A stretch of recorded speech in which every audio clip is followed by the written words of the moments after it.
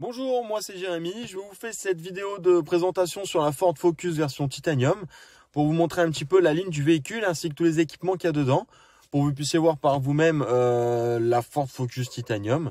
Toujours mieux qu'un catalogue avec une seule ou, quelques photos. Voilà, j'espère que cette vidéo va vous plaire. Installez-vous confortablement et maintenant je vais vous montrer la voiture. Donc voilà, Ford Focus version Titanium. Donc euh, ce qui caractérise euh, la Titanium, c'est sa calandre euh, chromée avec la signature LED des feux très jolie. Donc euh, les équipements qu'on peut constater sur le pare-choc à l'avant sont les radars avant, parce qu'elle a les radars avant, les radars arrière. Nous avons aussi les jantes spéciales titanium que vous retrouverez uniquement sur titanium. Donc avec euh, plein de bâtons qui sont plutôt jolis. Je suis en train de chercher la taille des pneus pour vous confirmer. Donc les pneus là c'est du 60 euh, avec des jantes en 16. Donc ensuite ce qui caractérise encore la titanium sont les lèches vides chromées, l'entrée et le démarrage sans la clé qui sont de série. Donc les radars arrière, je vous l'ai dit tout à l'heure. La signature LED à l'arrière. Celle-ci a la caméra de recul en option, je vous montrerai tout à l'heure. Vitre arrière surteintée aussi en option. En termes de volume de coffre, donc un très très beau volume pour mettre euh, les valises facilement. On est à un peu plus de 340 litres. La roue de secours. Alors la roue de secours galette et on peut mettre la roue de secours normale si on le souhaite.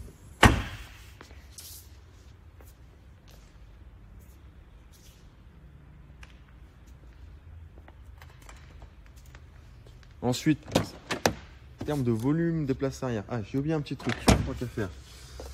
Donc ici sur la porte, il n'y a rien du tout. Si j'ouvre, hop, ouverture porte anti-choc.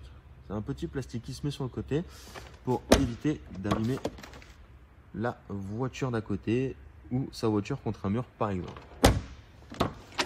Donc ensuite, en termes de volume intérieur, pardon, pour les places à l'arrière, donc euh, très très joli volume pour, euh, pour les genoux. Regardez, je vais m'asseoir dedans. Je vais vous montrer directement. En fait, ils ont reculé l'empattement de la voiture pour que les passagers aient vraiment énormément de confort. Alors comme vous pouvez le voir, hein, je triche pas. Le siège est plutôt euh, bien reculé. Donc en termes de, confort, j'ai un espace au genou voilà, plus que ma main. Donc euh, très très bien assis derrière. Il y a une prise 12 volts. Je sais pas si vous allez la voir dans le noir. Hop, on va essayer un peu de vue. Là, ici, prise 12 volts. Voilà, avec un éclairage de courtoisie pour les passagers derrière. Le ciel de toit est en crème pour avoir un peu plus de luminosité et moins cette sensation d'être euh, claustrophobe un peu bugué sur le mot claustro. Ensuite, je vais m'asseoir en poste conducteur pour vous montrer les équipements. Donc, sur la portière, je vais retrouver donc les quatre vitres électriques qui sont toutes à impulsion. Euh, je peux rabattre les rétros de l'intérieur, même si quand je ferme la voiture, les rétros se rabattent. Ça, c'est pour éviter que les enfants euh, jouent avec les vitres à l'arrière. Vous restez le mettre à bord et les rétros rabattables. Enfin, euh, réglable électriquement. Ici, on l'a mis en allumage automatique des feux, comme ça on n'y touche pas. Il passe tout seul en euh, jour ou nuit. L'aide au maintien de la voie qui est ici, qui permet de donc rester dans la voie si jamais je, somnole sur autoroute ou autre chose. Vous avez aussi donc la lecture des panneaux qui s'active avec la caméra du rétroviseur. Donc elle lit les panneaux. Vous avez ici un plastique moussé pour plus de confort acoustique et surtout une durée dans le temps un peu plus importante l'affichage tête haute. Vous pouvez mettre les informations que vous souhaitez. Donc régulateur et limiteur de vitesse qu'on peut mettre en intelligent ou pas, ça c'est au choix. Vous avez ici tout ce qui est les commandes vocales et aussi les commandes pour euh, gérer le menu du tableau de bord.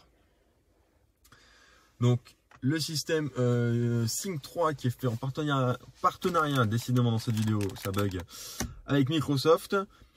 Et euh, le GPS est à commande vocale. Donc par exemple pour... Veuillez énoncer une commande. Chercher adresse. Veuillez énoncer le numéro du bâtiment et la rue, suivi de la ville. Pour effectuer une recherche dans un autre pays, dites modifier le pays. 123 rue Grisol, Fréjus.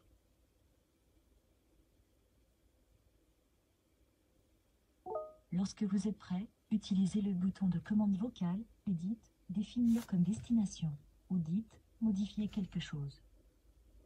Donc voilà, comme vous pouvez le voir, euh, j'ai dit l'adresse oralement sans rien toucher. Ça marche pour tous les points d'intérêt aussi, que ce soit les hôtels, les restaurants, les concessionnaires Ford, euh, enfin tout, tout ce qui peut être point d'intérêt. Euh, et je peux aussi donc envoyer les messages à la commande vocale et recevoir les messages pareil en, lecture vocale. Ensuite, climatisation bison automatique, donc chacun règle la température qui lui va bien. Ici, vous avez un port USB avec une prise 12 volts ou un allume-cigare. Vous pouvez avoir le chargeur induction qui est ici. Donc un très euh, beau volume de rangement.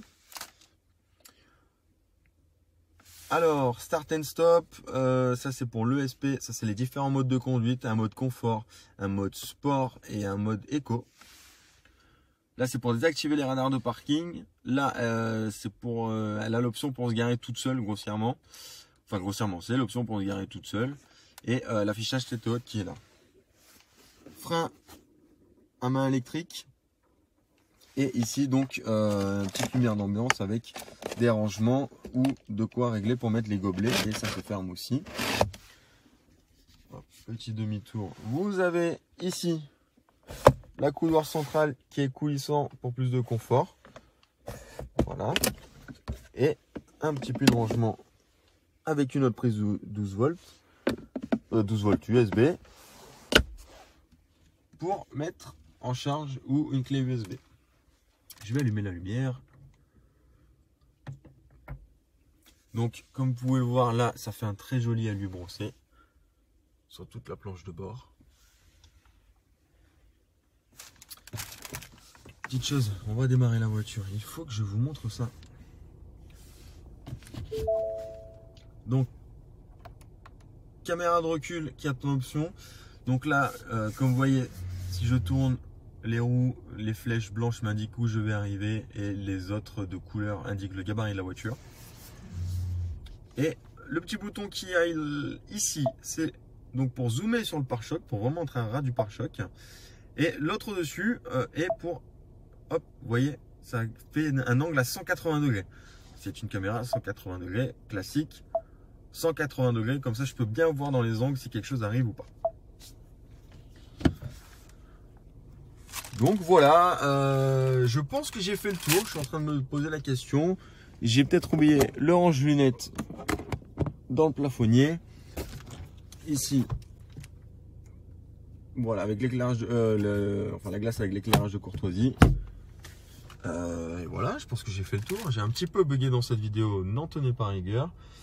Mais euh, j'espère qu'elle vous a plu en tout cas en termes de, visibilité et, tout ça.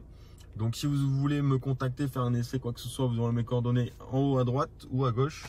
Je ne sais plus.